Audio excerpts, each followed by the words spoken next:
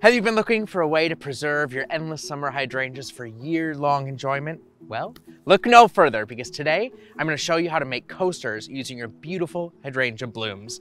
I'm Ryan from Endless Summer Hydrangeas and welcome to Garden Gab.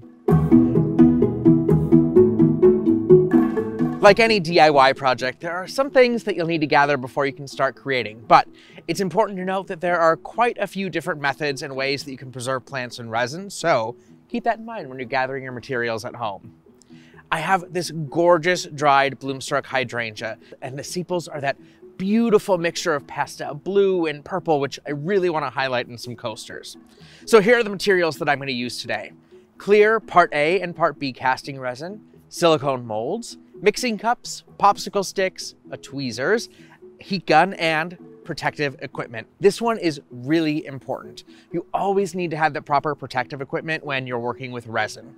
So you'll need gloves, safety goggles, and a respirator or mask. Also, just make sure that you do this in a well-ventilated area or, like I'm doing, go outside. And last, but certainly not least, you need your hydrangea blooms. Make sure that these blooms are dry. If you need to learn how, we've put a link to our video on how to dry hydrangea blooms in the description below. Okay, now that we have everything set, let's get started. First, I'm gonna mix the resin together. Like I said earlier, it's super important that you wear the proper protective equipment when you're working with resin. So get those gloves, goggles, and masks on. I'm using a part A, part B casting resin. So make sure to follow the directions on the resin that you have just to ensure that you're mixing the correct amount together at home.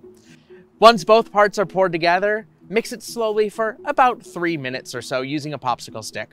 Once the resin is mixed, you can start creating.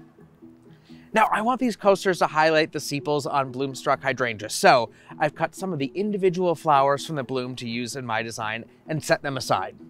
To start, Pour a bit of resin at the bottom of the mold, and then use your heat gun to pop any of those bubbles in the resin. Now when you're using the heat gun, make sure to keep about two inches above the resin. Once all the bubbles are gone, you can start gently placing the flowers. I like to have tweezers handy to help me place them exactly where I want them to go. Once that design is complete, add another layer of resin on top and then pull that heat gun out again to make sure that you clear out any of those bubbles that have formed. Now it's time to let the resin sit and it needs at least 24 hours to cure. So I'm gonna put this in a safe, level place and then I'll check back in a day. And there you have it. It's an easy DIY project to showcase your hydrangea blooms all year long.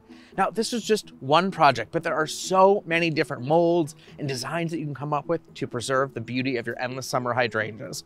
Whether it's coasters, jewelry, or bookmarks, the possibilities are truly endless. So have fun, get creative, and of course, make sure to tag Endless Summer Hydrangeas on social so we can see what you've come up with. Thank you so much for watching, and we'll see you next time on Garden Gab.